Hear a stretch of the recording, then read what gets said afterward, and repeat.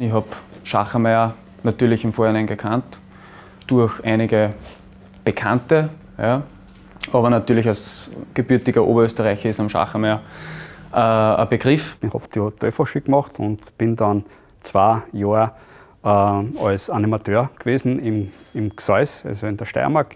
Und dort sind immer Mitarbeiter von der Firma Schachermeier gekommen zum Reften.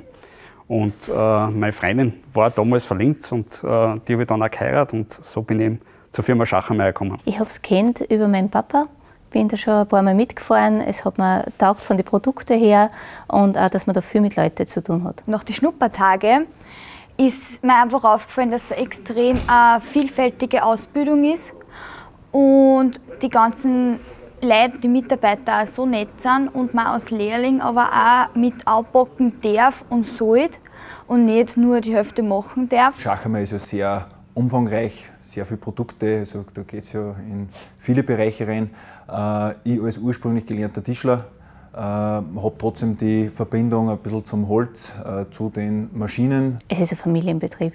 Man fühlt sich da wohl, man hat irgendwie gar nicht das Gefühl, dass man in die Arbeit geht, sondern dass man einfach gern daher geht. Man hat Ansprechpersonen, die so wie Mentoren sind.